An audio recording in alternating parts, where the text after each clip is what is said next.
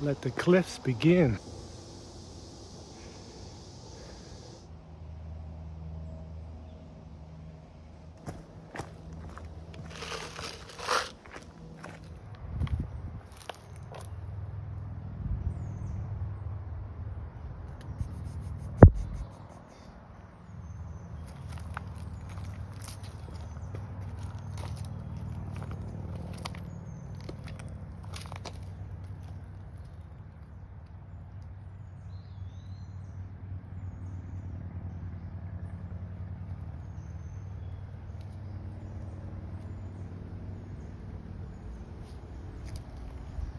Hopefully I uh,